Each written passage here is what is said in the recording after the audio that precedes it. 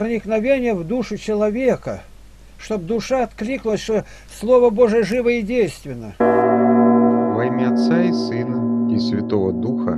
Аминь. Вопрос 135. Если женщина разведена с мужем, но живут в одной квартире, то как ей относиться к нему? Ответ Игнатия Лапкина. В Польше придумали так, читал в газете. Подавшим на развод жить несколько дней в одной комнате-камере, где одна кровать, одна ложка, одна чашка и так далее. Как правило, через 2-3 дня они свое заявление о разводе забирают обратно. Если развод связан с изменой, Матфея 19 глава, то она имеет право развестись но предпочтительней, если она простит ему, говорит Василий Великий. А если простила, то никогда не напоминай и не упрекай. Других причин развода для христиан не существует. 1 Коринфянам, 7 глава, 15 стих. «Если же неверующий хочет развестись, пусть разводится. Брат и сестра в таких случаях не связаны, к миру призвал нас Господь. А если разведется, то доколе он не умрет, она не имеет права выходить замуж. 1 Коринфянам, 7 глава, 39 стих.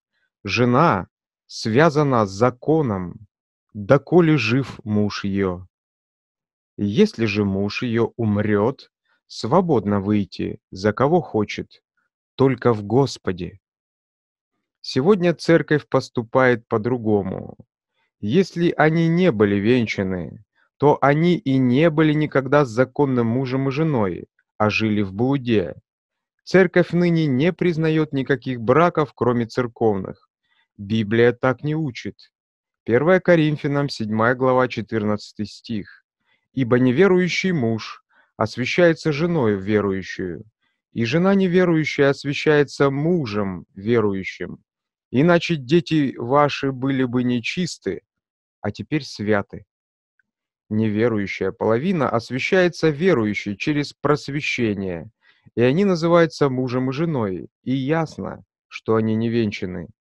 Если разведенные остались жить в одной комнате, то ничего, кроме унижения и страдания одной из сторон, не будет. Богу нашему слава во веки веков. Аминь. То есть это оживление этих вопросов.